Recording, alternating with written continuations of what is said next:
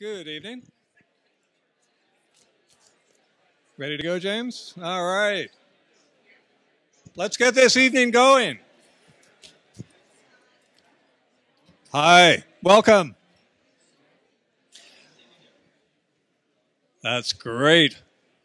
Well, I can tell this is going to be a great evening. Uh, some of the sessions that we have here, I encourage people to talk among themselves, and you're talking among yourselves. That's, that's a very good sign. And this is going to be an extraordinary evening. And if I had to choose a theme for it, and I have, it would be transitions. And not just the city in transition, not even just the topic of our choice tonight, talking about this choice we will be making around a new director of planning, but this is also a transition for the city program. Now, I've been at this for 10 years, and I could have retired a couple of years ago. But why would I? This has been a dream job. I'm amazed they pay me for it. Uh, and it has been remarkable to have built on the foundation that the first director, Judy Oberlander, provided. A solid reputation, great programs that we've been able to build on. But circumstance and opportunity make this just the right time to begin the transition to a new director for the city program, and we've started that. Our Dean Pro Tem, Joanne Curry, and I have been talking with people in the community and among ourselves within Simon Fraser, and we realized this would be a great chance to build on the foundations that have been laid for the city program. And, and as we move towards the choice of a new director, uh, for me to take a step back and, and for this interim period to have, well, an acting director. And we've made that choice. So it's a remarkable pleasure, I have to say, to introduce you to an acting director that I'll be able to work with as we move the city program to a new level. So won't you join me in, in welcoming the new acting director for the city program, Andy Yan.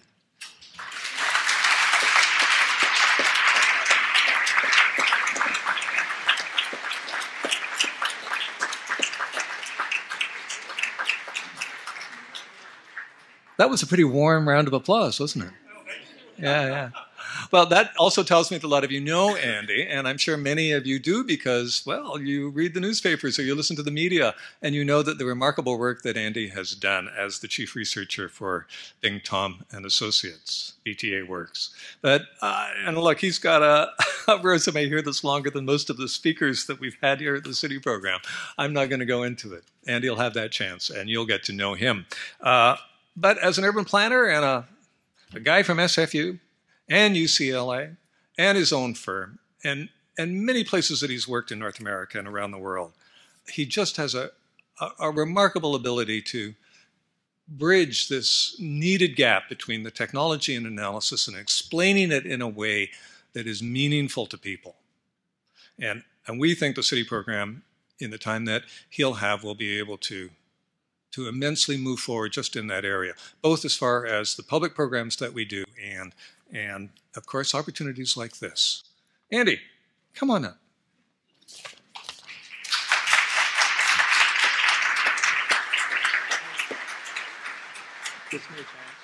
Thank you. Want to say anything? Um, well, hi, um, I'm Andy Yan, and I'll be the acting director of the city program. But I think, first of all, I think the most one of the key things I want to start out is this incredible beacon that Judy Oberlander and our Gordon Price has built in in the last decade, in the last two decades, for being a beacon towards what good urbanism could be or should be. And I'd like to just give a round of applause to to Gordon Price. And, and Judy, and of course Judy Ober, and of course Judy Oberlander. Here, here.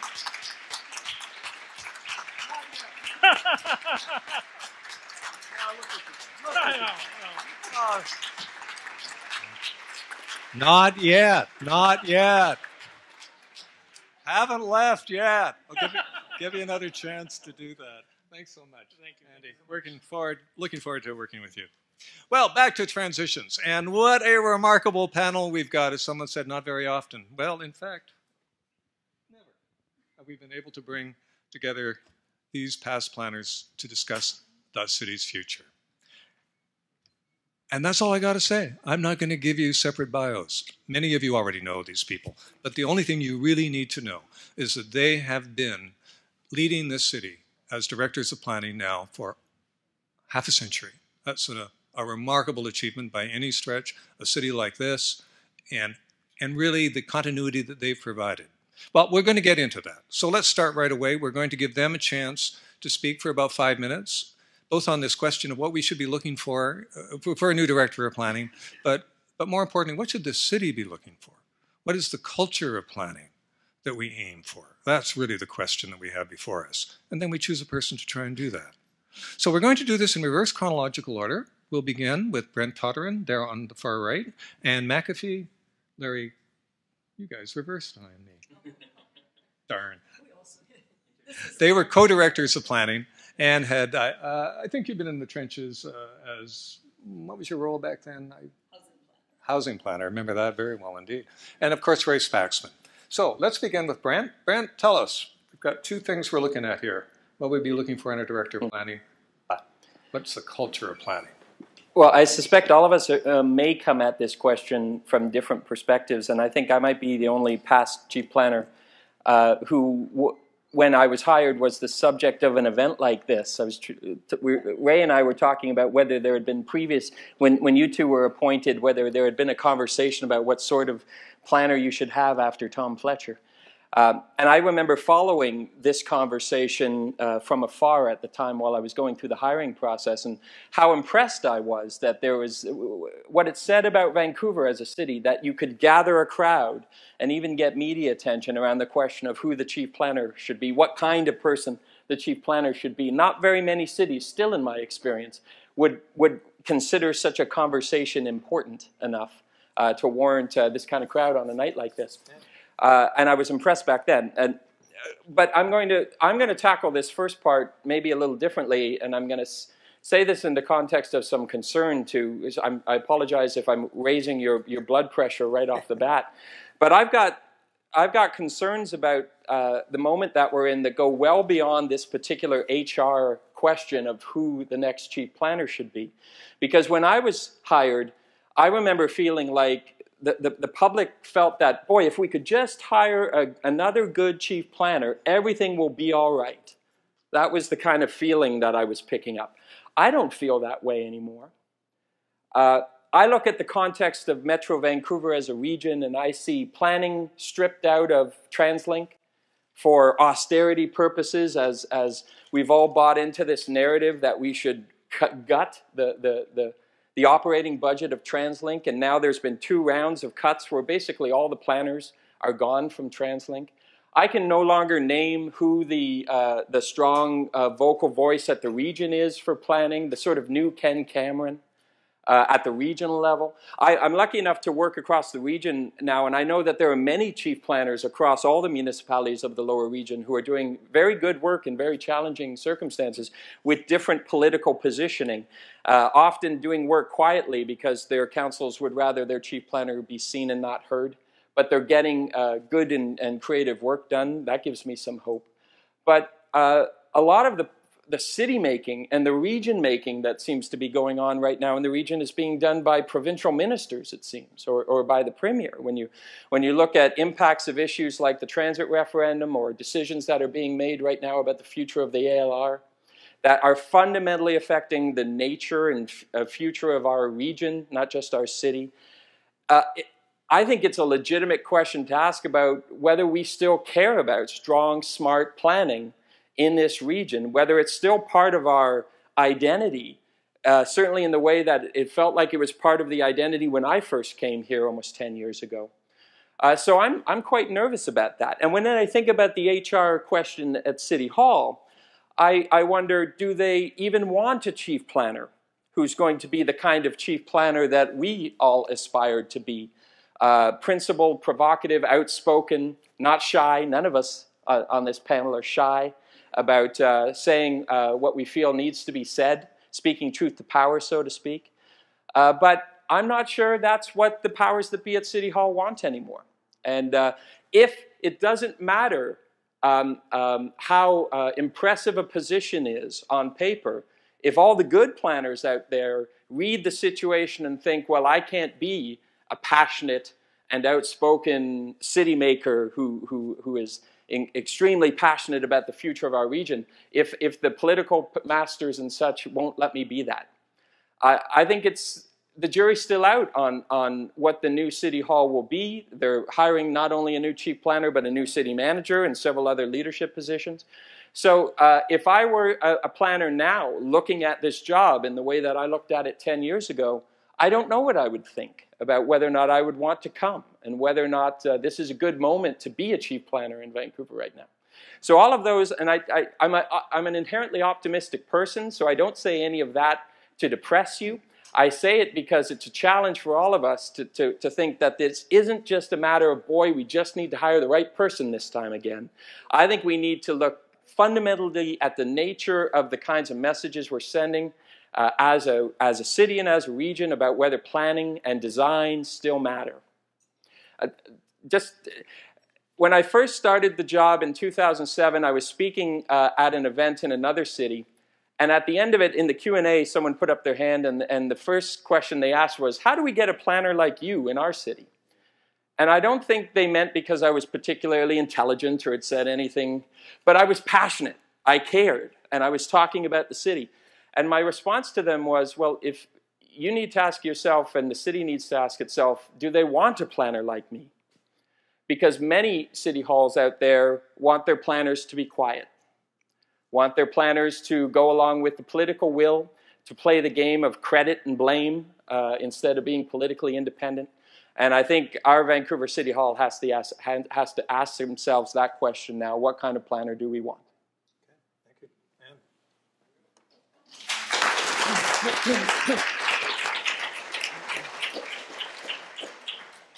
Well, I'm asking the question, which is somewhat like Brent do all good things need to come to an end? Now, I'm not negative, and my answer actually is no, they don't need to come to an end. Gord asked us to talk a bit about vision and how that linked to the new, and that's vision with a small b, and how that linked to the new planning director, or should I say general manager of planning and development services quite a different thing.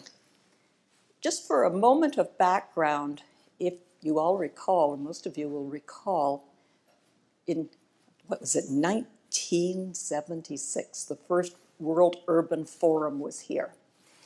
And I remember people saying, oh, Vancouver, a kind of unspectacular city in a spectacular setting.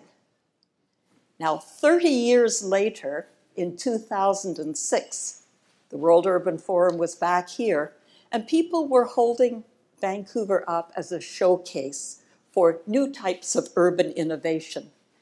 A vibrant inner city with families, financing growth, public engagement. And the question then was came up actually at that just after that time, what else is there to do? Well, there's a lot of outstanding initiatives. Certainly we had city plan, and while I think a lot of the directions are still relevant, the community identified 19 neighborhood centers, and the whole process has stalled. Only two centers actually went through rezoning, and I'm not sure that any are now underway. While we're internationally recognized for public engagement, I've had visitors come recently and say, but this looks like same old, same old, what people did elsewhere. The planners do the plans and the public responds and say, where did this plan come from?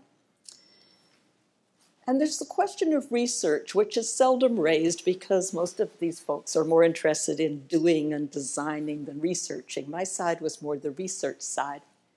But I think it's often forgotten that most of the policies we came up with had a very good intellectual foundation. You think about housing families at high density, which brought children into the downtown. That wasn't just haphazard. A lot of research, including people like Penny going out and interviewing people who were living in family housing at the time, what works and what doesn't. It stood the test of time. When we did DCLs, and CACs, we had to balance community needs with market viability. A lot of fiscal impact analysis happened. I don't see a lot of that happening now, and I'm hoping that when a new planner comes in, and with a new government who may restore the long form census, that indeed there will be some analysis of the kind of needs that are happening in the city as so many of the baby boomers age and more people come to the community and resources continue to be very tight. So I think there's a lot of work to be done to set sort of new directions, new ways of doing things. I'd like to also comment on this new position or the position that's being advertised. It's a general manager for planning and development services. Now, this is quite different from what Larry and I were. We weren't a general manager. General manager means that you sit at the corporate management table. Now, that sounds pretty good, excepting I sat there covering for Jackie Forbes Roberts for six months. And the amount of time spent worrying about the latest service improvement fad and next year's budget cuts meant that planning didn't get done. So I'm concerned about the general manager having time taken away from planning. Then there's the question of development services. We were lucky the building, chief building official, the building department, a lot of development services actually happened in other departments. Now, and I believe that there's about 300 people in the planning department, about double what we had. And the amount of management it takes for a larger and um, more diverse set of responsibilities. And that brings us to planning. And I would echo what Brent said. But I would notice that while we were in the planning department, the really interesting council priorities were by and large being led by planning or planning as co managing with engineering or finance. Today, those exciting projects, what I call the fun projects, are being managed out of the city manager's office. Housing, housing projects, the Green City Initiative, a lot of the intergovernment relations, where planning might have written in the past things like the New Deal for Cities document for Vancouver. Now that's all happening in the city manager's office. So there is a question about what the planning department has left on its plate that council's interested in. Now, I've been listening to some of the previous discussions around this topic, and there's a lot of interest in a new city plan or some new initiative around that notion. For those calling for a new plan, let me finish with my experience. When in the late 1980s the planning department thought we needed a new plan, and council had no interest in it at all, we tabled the Vancouver plan and it still sits on a shelf. A few years later, when council was coping with NIMBY and they wanted to hear from the community, suddenly planning ramped up. And over a few years, some 100,000 people, under the inspiration of council and with planning managing the process, started talking about the future of Vancouver. Now, you may be calling for a new plan, but if that's not council's priority, I would suggest the challenge is to look at uh, how you adjust council priorities and not bash the director of planning for not delivering. I would say timing is everything. And if council's willing to tackle some of these issues, then let's hope the new planner is there and ready to roll. But I think most importantly, let's hope that all of those new initiatives aren't short-term projects in the city manager's office and are really part of a broader ongoing city initiative. So I don't think good things need to end, but I certainly think the new planner needs to learn about Vancouver and some of the hmm. directions, some that work, some that need to be changed. Listen particularly to the community, who's very knowledgeable, and then lead in some of the new directions that will try and make sure Vancouver stays one of the most livable and sustainable cities in the world. Thanks, Ann.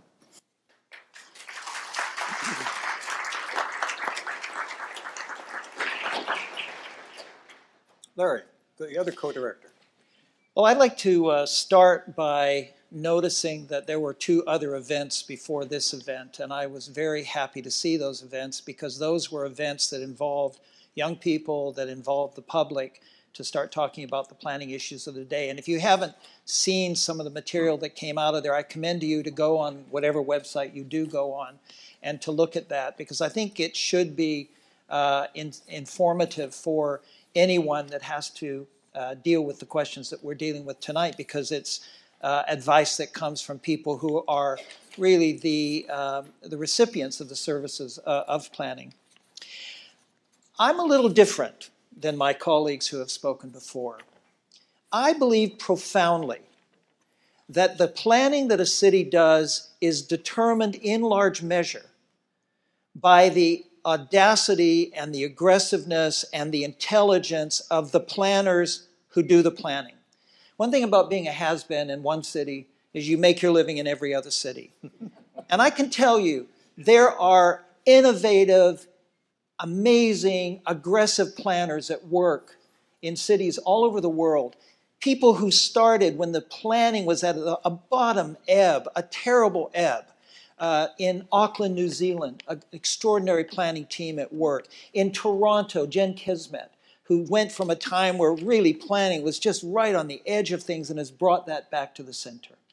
And so I believe that the chief planner, but also the entire planning organization, because no planner does this job. It's done by hundreds of smart, intelligent people. Rhonda Howard's in this audience. Rhonda Howard should be the director of planning because she was the director of planning on many issues that we dealt with, because we worked as a, as a, a team of intelligent people. But what the leader has to be is a person that inspires, a person that goes out and fights for that planning, a person who establishes it, that it's necessary, not wait for some politician to tell you they want it. They're never going to tell you they want it. You have to have, you have to go and convince them it's the right thing. And so for me, of all the things that could happen, you could be a good administrator and all that. I'm not, I don't care about that. I expect that. But I want a planner in this town who has a vision for this place, that has a vision for great cities, that knows what good cities are about, that knows when it doesn't work, and that will push that forward and will inspire all of those planners in that organization that she or he runs and leads to do the best possible work they can do. We haven't, in my opinion, had proactive planning in this city in the last few years. We are still dealing with plans that are obsolete and every single day they become more obsolete. The reason we have affordability problems is that we are 10 years behind planning the city to address the need of the supply of housing, among other things, and the new methods that we need to bring to affordable housing. These are things that are not being done in the city, and they need to be done, and they will be done by an innovative, forward thinking, visionary planner. So for me, that's the first important thing that has to happen. Second, that planner has to be a great communicator. That planner has to be a person that when they stand up, you stop talking and listen, not because someone told you to, but because you want to, because you believe in what that person's going to say, because you know you're going to learn something from what that person says, and you know that person's going to shut their mouth and listen to you as well. And I want a planner who's a good communicator. And finally, I want that planner to have a hell of a lot of passion in what they believe in. So they don't stand for it when a politician starts uh, saying, well, we don't do this or we don't do that. In fact, they stand up and say, you need to do something. And they build a huge constituency of thousands of people behind them to do whatever needs to be done so that when they walk up to council and talk, they know, that council knows they're speaking for hundreds or tens of thousands of people. The second is you have to remember that this planner in this organization is also leading one of the most transactional development management processes in the world today. We, we decide what people can do according to a negotiation, a discussion. And you know what? It's proven to be one of the most effective systems in the world. Except that, in the last few years, we've forgotten how to use it. We don't take advantage of the benefits of it. People have forgotten the basic intentions of it. So the planner has to be a great negotiator. They have to be a great political actor. They have to be a person that has a natural gravitas that brings with it a sense of truth in what they're saying and a sense of pulling people together and getting things done and being able to negotiate with those powerful people out there that would prefer to control the city rather than have you control the city or the planners who represent you control the city. So those are things that, bottom line for me, have to come back to the planner in this town. You can't have a planner in this town when no one knows who the hell the person is. You can't have a planner in this town when someone writes in the newspaper, well, you know, Vancouver's not as good as Toronto and the people are not as smart as Toronto. You've got to have a planner in this town who believes in this town, who believes in these people. And then it brings me then to the planning culture that that planner has to sponsor with all their colleagues. You know, I now know, and I can tell you from my experience all over the world, we have a great planning culture. We have great technical skills. We have great insights. We have great principles. But what we have lost in the last few years is demolishing all of that. We have forgot about how to talk to our citizens. We don't know how to do public engagement anymore. I, it frightens me. When I'm invited as an old has been codger from the past over to a neighborhood because no one in the planning department or the director of planning will come and talk to them. No one will tell them what it, what, how the process might work. No one will listen to them. And then you have processes where everything happens and everyone dance, dances around, and then the planners decide to do something else. We have to bring back a commitment to real public engagement in the planning of this city, and we have to let the city be the result of that public engagement, not just a little bit of window dressing on the side, which I think it has become. And if, in fact, you, we can bring back that involvement and all those tens of thousands of citizens into this discussion about the city of the future, you can have faith that it will be a great city. And then your planner becomes the agent for that. And that's what I'm looking for in the next regime of planning here in Vancouver. Thank you.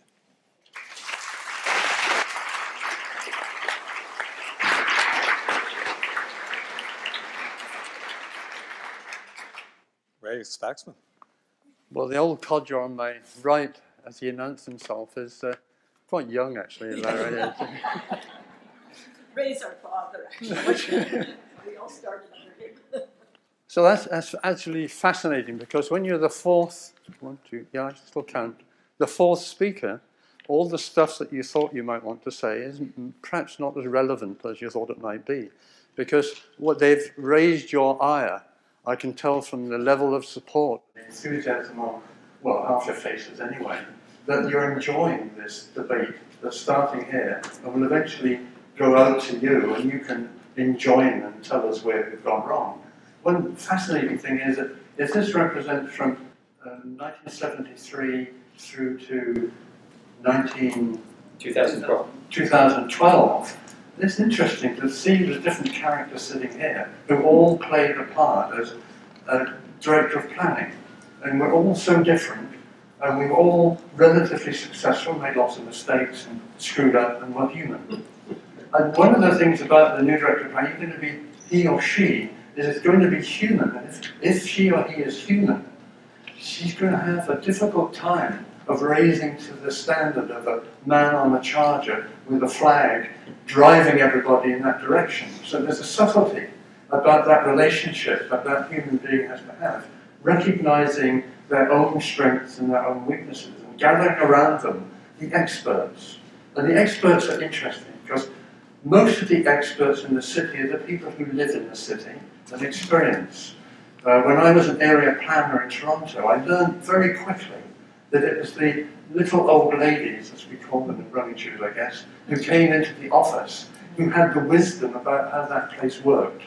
not the incoming planner from, in my case, from England with a strange accent, trying to tell them how to do planning. And that was a great learning period of time when I first formed the thought that it was the people that mattered. And every organization and every part of any organization that denies that is harming the place. And I agree with some of my speakers that that's been harmed in recent years, and it's, it's prevailing the whole of every government. Perhaps the latest election gives hope that there's enough people who won't stand for it. So you've got to open your window and shout out, you've had enough. There's more and more people who do that will then perhaps be able to control who's going to make this decision.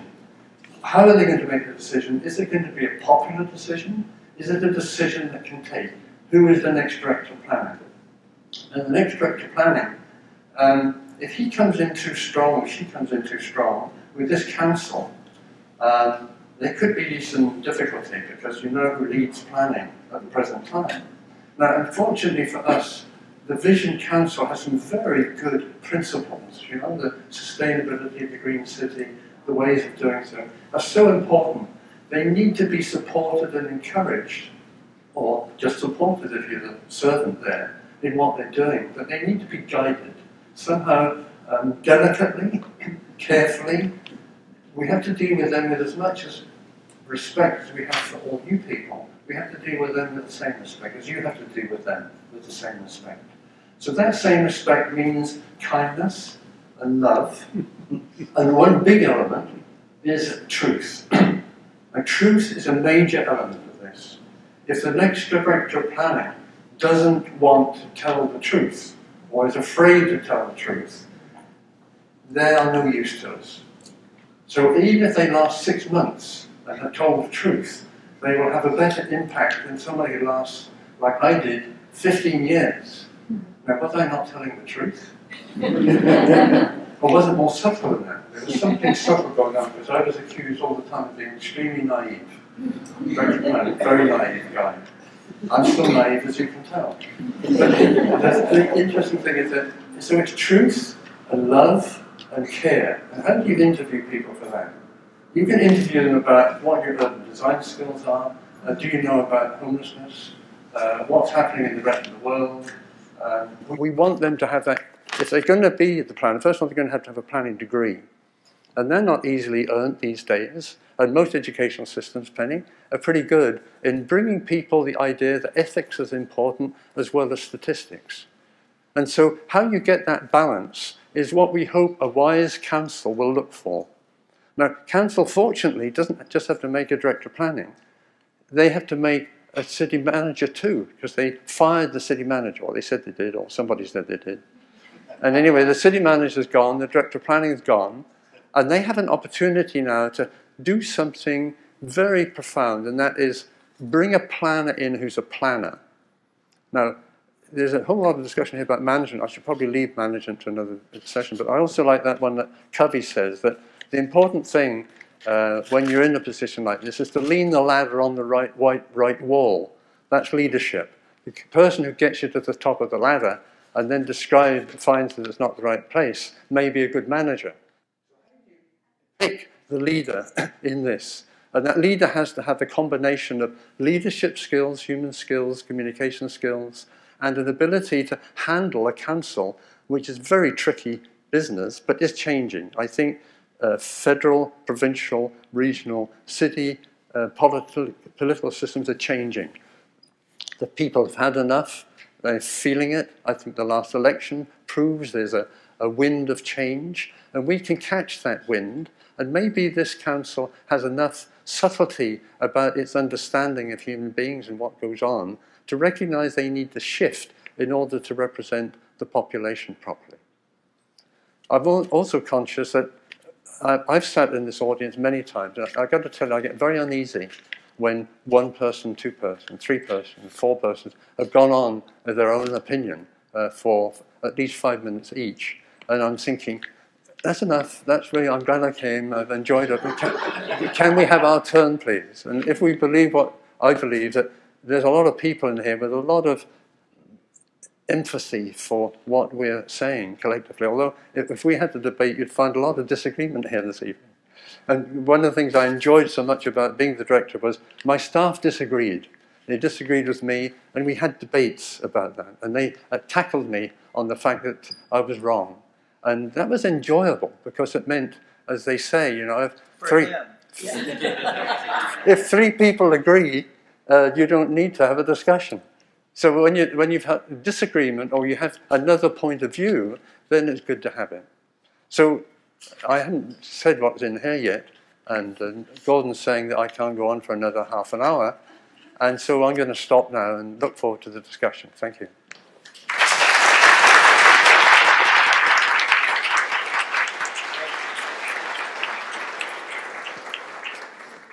Good work. Good work. Thank you, sir. But you can get away with it. You don't work at City Hall. I, what I heard was that you were saying that in order to get the kind of planner that we need, the political culture, the council that runs this place has to change. Its culture. Yeah. Is that right? Yes. Uh, it, it has I, to, it has I to don't- understand I, better. I actually don't agree with that. Okay, No, go, Larry. no. Um, what I've been trying to say is that the planner is the sponsor of a way of looking at the world. The planner is a agent to tell people, to show people, to illustrate through example that you can build a city in a different way, in a better way, to offer a different thing than people start with. I have to tell you that all over North America, I see planners who are they're modest, they're they never want to be seen in public, they never want to tell the story, they never want to do anything that's, you know, that would endanger them. And that's why I keep saying that c- courage is a really big part of this thing. And you if you take the take the experience recently I- I'll go back to Jennifer Keesmaat, the new director of planning in Toronto. Her council doesn't agree with her on a lot of things. Her council would rather her that she's not doing her job but she keeps doing it. She keeps building constituency for it. She keeps building political interest in it. She finds her alliances. And slowly she's bringing planning back from a very low level in Toronto, one of the lowest in this country, to being a meaningful guiding force for that city. And to me, that's what the planner does. You know, it's pretty easy if everything's good and you come in and, you know, everyone's happy and the politicians love you and all that. Well, that's that's the easy planning. The harder planning is to go to a place where people maybe don't get that yet, and you can start to show that through the quality of what you have to say and what how, how whether you can be convincing or not. And I think we need much more strength and courage in our planners than we've seen recently. Uh, Brent, Ray, and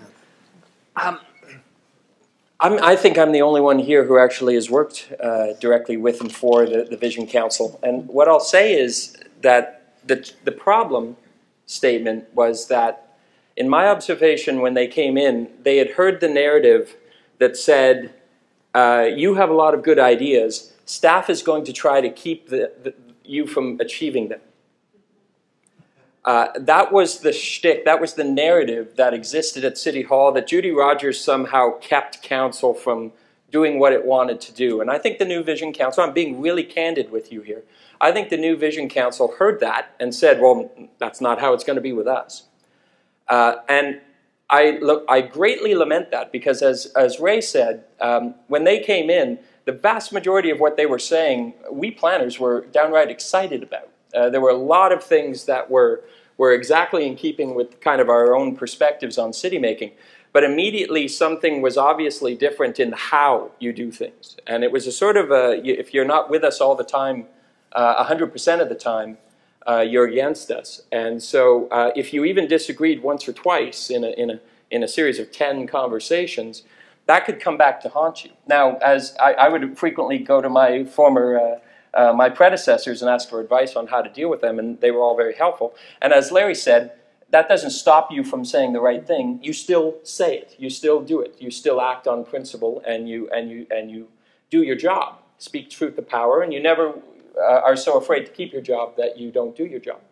But I, I don't really think it was a problem of the culture of the politicians because everything I've just described was lamentable because we were actually on their side but they didn't necessarily always see it that way. The real problem is when I'm going to be candid again, when they hired a city manager who was the real uh, author of an entirely different culture at City Hall. And it was the city manager that created a culture of don't uh, disagree or else you will pay the price. Keep your head down. There's only one smart person in the room, and it's not you. Uh, and that culture, it was the culture from the city manager's office that was the real problem. Now, you can say that Vision hired her, but I still think that that's the root of it. So that's why I'm optimistic, because that city manager is gone. And uh, there is an opportunity now for this Vision Council, who's been in place for a fair while, to realize that staff are really on their side. And nobody's trying to keep them from uh, being the political leaders they want to be. But we're a team. Staff and council are a team. Right? Yeah, I don't. Uh, uh, politicians are people too, and uh, they have the frailties and the necessity to get on with their work. And they're nice people mostly. I mean, who else would volunteer to stand to do a, a difficult job like that and then carry on as they do? So I have a lot of wish to help the politicians. You may not think that from some of my writing, uh, but I'm critical. But nevertheless, they had a difficulty when they appointed Penny, and that was um, Olympic Village and other things were in real crisis form, and they needed a strong manager. And uh, the mayor had uh, recognised the strength of the previous deputy minister to get things done, and that was brought in. And Penny did that, and some people believe that was a bit of a miracle, I don't know for sure, and did the job. But then she waved her fingers at everybody because she was the only one who knew anything right. And I've been to several meetings, which Brent's been at when I've been at meetings where there's three of me and the rest, uh, three people from downtown East Side, and I don't think it's just telling secrets. And she and I would be having a row. Brent would try to find a midway. He'd be told to shut up because it wasn't council's policy. And so that, what that did is denigrate the whole of the staff. That's gone. Maybe uh, Vision knows that now they know that they have to reach back to all us people in the city and do a better job.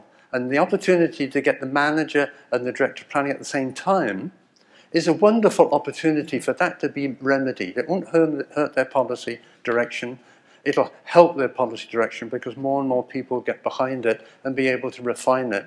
Just like, and I see Marguerite sitting there, just like Team knew in, way back in 1972. One of the things that I keep wondering about as I go around and I listen, I've tried to stay out of things because I've been mostly working elsewhere in the world. And as I go to the odd thing in Vancouver, I sense this sort of something's wrong and that somehow the public and the council are on totally different wavelengths. Now, the strange thing is, when I look at the sort of 10 or so directions that teams set back in the 1970s, this council is still moving in those directions. They're worried about affordable housing. They're concerned that um, the city be not only sustainable, but as the new knowledge has come, greener. They're trying to ensure that this is a walking, biking transit city. They're making sure that growth pays its way for new community services. These aren't new directions. They're really directions that have come over many years. But what seems to be the case is that I don't think council realizes that they're not new directions, that they're really building on the past. There's sort of institutional amnesia and that might be, as an aside, because, well, we sort of alluded to the staff that were around us. We never really said much about it. And I brought two exhibits here for you, which you can't see, but we'll put in the material. One is under Ray's direction, there were a number of bright young planners. Now, by the time if you don't recognize them. That's Rhonda. There's Rhonda. there's Trish French. There's Larry. there's me. There's Ron with brown hair. Now, the interesting thing is that Larry and I, when we had to put a management team together, this was our management team. We'd all been around since the 1970s. We all had a good understanding of the directions of the city. But within a year or two, and we'll add this as Exhibit B under you know, the materials from this workshop, within a couple of years, mostly because a lot of us aged, but also some people found more creative or interesting different jobs. The vast majority of people, I counted somewhere around 60, of the people who had written the policies and plans over the previous 30 years, I mean, I see some of here, Frank's here, many people, had left the city. So the irony is that while you've had a council that has been following directions that have been around for 30, 40 years, almost half a century, the people who might be able to help and explain to the council and build on that left the city. So I could see the challenges that Brent faced as many people left. But that doesn't mean there aren't new, young, capable people and a very educated population in Vancouver who I sense are all willing to engage and help. And hopefully there'll be a more open um, door at City Hall for that. And some of those policies can be continued but improved with everybody engaged in them. But we did have a loss, and I think that that's been part of the challenge that the more recent planning directors have had to cope with. I just wanted to say that I, I'm afraid I think it's a little too simple to say that the, the issue that we have with planning right now has to do with the city manager or the nature of that city manager. I might have things to say about that city manager or I might not. But I don't, I don't think it's that simple. I think it has to do with a combination of things. But what I'm trying to say for this particular topic is one of the things it has to do with is the strength of the person who is leading the planning service and plan, planning efforts of the city. Whether that person really commands around them hundreds of hundreds of people and other people to building a real movement that, that really any politician would have to respond to. And also whether that person is courageous. I learned something from Ray, which I tried to carry on, and I know Ann tried to carry on, and Brent carried on too and that was you have to be courageous. You can't just, when someone says, uh, uh, uh, uh, you can't just shut up. You have to still say what you think is right. And when they don't want you, they don't want you. I always told, I tell everyone that when I took on this job, and Ann knows this because she did about the same thing, we organized our personal lives so that we could be fired at any point without kind of collapsing in an economic disaster. Otherwise, we belong to them and we didn't want to belong to them. I learned that from Ray. I watched him come, convene us all years and years ago and say, I want you to know I'm probably going to be fired tomorrow morning. You did that at least three times in my memory. and he never got fired. He like he retired with honor. And it's because when you are a planning leader that says things that are compelling, when you're a planning leader that says things that people believe in, when you're a planning leader that listens carefully so your voice is the voice of a bunch of people that you've heard and learned from, you become a very compelling force in a democratic political process. And that's what I feel we need to get back to, and I think we've lost. And I didn't haven't seen that in recent times. I, I'm not laying blame on anyone. I just haven't seen it. I can tell you there are a lot of other councils and a lot of other places where I'm doing work right now that are a lot less sympathetic to planners than the planning uh, the, and the and the council of this city. And not only do, does the council of this city have many of the things that I think many of us believe in, but they have been you know pretty positive about planning and about planning activity as compared to the struggle that I know goes on in, by planners in other places. And it's important that we not forget that these are just not institutions and positions, these are people. And if the people are really good at what they do, you have success. And if they're not very good at what they do, you don't have success. You've been remarkable in articulating the clear need for the character of the kind of person. But what about the community itself? I think all of you, with maybe the exception of Brent, dealt with a city that had to accommodate growth, but never had to come to terms with changing the character or scale of the established neighborhoods, except on the margin. We had the mega projects because we had the industrial land. We had a neighborhood process, city plan, it's true, but look how, as you've already acknowledged, how little it was implemented. When you come up, and I learned this in politics, no one ever goes into a neighborhood and says, Hi, we're here to change the character of your community. How would you like us to do that? Is the character of the community now such, with the flow of wealth that has come into this, with the desire of people to keep the character in the face of forces of gentrification, more than ever are reluctant to see a change in character or scale? And in fact, if a council can't look to planners to do that, are they not then entitled to find another way? I think there are ways of doing that.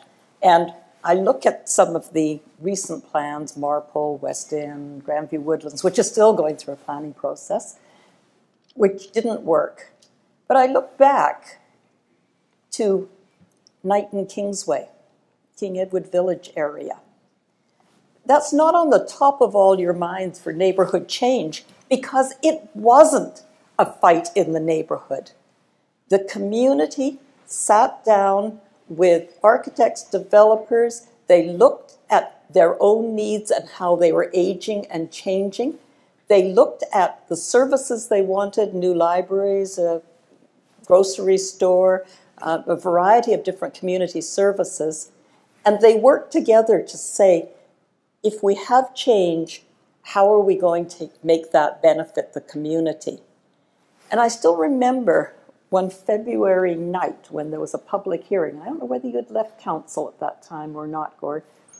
And we came with the plan, the community came with the plan for Knight and Kingsway. No, it was. Uh. It was after you. And 80 people showed up. And we said, holy shit. I mean, that's a significant planning term. uh, technical term. Technical term. What did we do wrong? We thought the community supported this. Well, the mayor said, you know, anyone want to speak? And two people got up and spoke, and they spoke in favor of the plan.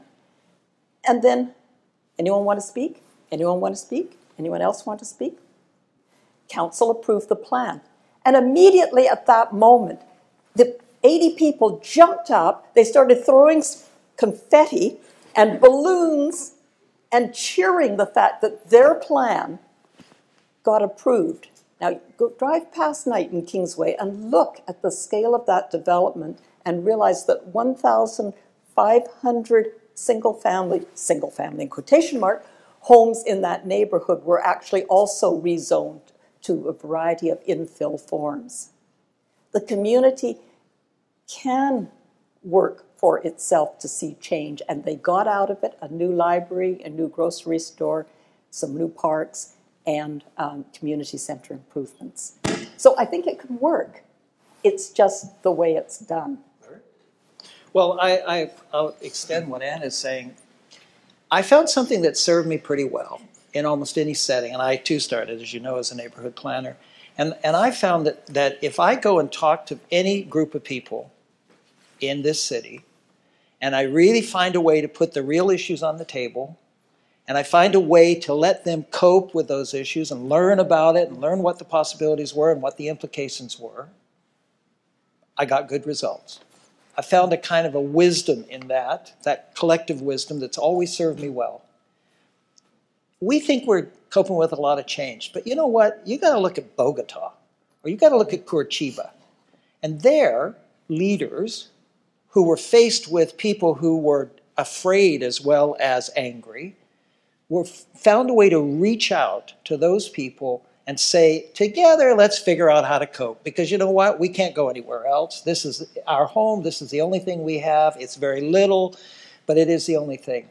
And that means a kind of a collaboration, a partnership uh, with the people of your city. I still think that works. Yeah, I, th- I think it works, and, and, and I have no evidence here that it doesn't work. But what I think doesn't work is when you go out and talk to people, and then you develop, they all develop a plan, and it goes back to City Hall, and someone at City Hall says, no, it's not good enough. Yeah, rewrite it. and we'll just do whatever we want to. Then people feel upset, angry. They feel abused. Is it possible to get a comprehensive, complete city plan, that is what's been called for by many, uh, that will deal with change on the scale that's required to accommodate the next several hundred thousand? One city plan through a single process?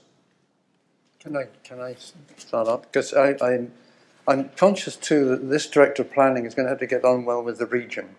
And that's because primary, uh, in, in, uh, primary impact on this city is going to come at a much higher level than the city's concerns. Mm-hmm. And if we don't get in harmony with the metro planning organisation, and if that doesn't get self-organised too, we shall be facing disasters from globalisation, economic, environmental and social changes that are far bigger than just homelessness or just converting the residential area. And we have to enjoin that discussion at that level with the whole community. Because unless the whole community can get involved with the issues that we are facing, like we read the newspaper and they tell us we're going to have another million for sure in 30 years, and another, another a million after that, a million after that, a million after that, and you know where that goes to. It can't go. It's already at 7 billion in the world, beyond our capacity to equally share the benefits of what nature provides. And it's going to get worse, it's serious, and so the next director planning and the plan for the city has to be done very much in conjunction with at least the region and hopefully the province and hopefully the feds.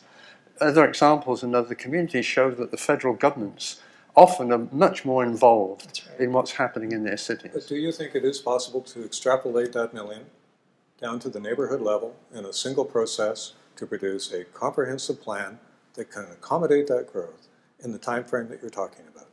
Yes. I think yes, and I think Right. what you're talking about in a short time frame is a land use plan. A comprehensive plan has to also include services, tough choices around money and funding, and it has to include We need, we need to have a bigger Yep. debate on this, Yep. I think. Well, let me have the debate work right it here. out. I don't hear any of you putting forward a process that suggests there will actually be tough decisions. What I hear you saying is that you work in conjunction with the community through a process that listens and accommodates. You will get the result that everyone will be satisfied with. I can tell you as a politician, X, I don't believe that. Well, I put up my hand a couple of times. Um, your, your, your introductory statement certainly wasn't true in my case. Um, Yeah. The narrative when I was hired was the downtown is basically done, which I found a hilarious statement since I spent a fair amount of my time still working in the downtown.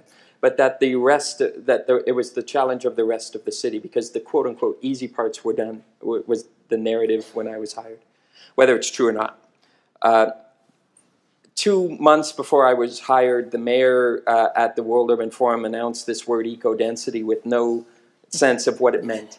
And my first task was to figure out what it meant um, and turn it into something workable. And, and he wanted it uh, done in four months, which means no time for public engagement. Now, we ended up taking two years on it.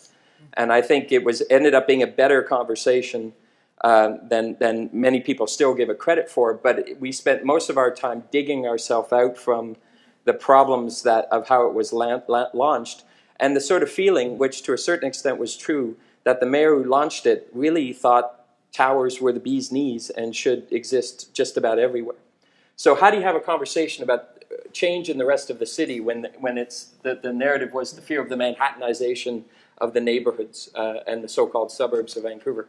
So at the end of it, we ended up developing words like gentle density and hidden density, laneway housing, all these kinds of things to talk about how you, how neighborhoods can change, but not fundamentally uh, eradicate their existing character in a reasonably healthy way.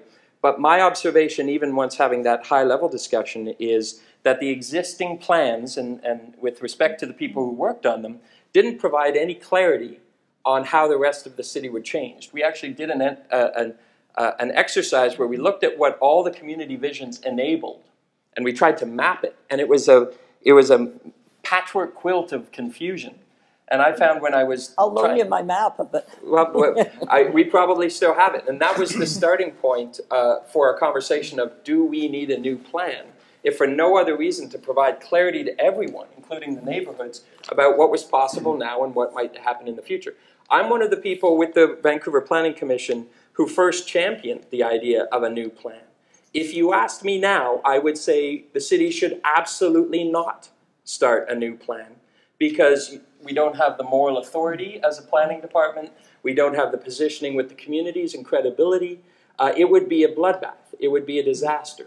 Uh, but I do believe a new plan is necessary, maybe once uh, credibility is being reestablished, both in terms of the principled approach to how design and growth can occur and how uh, community engagement really should be done. At that point, a new plan I think would be extremely valuable, but timing is everything, and I don't believe you could do it now.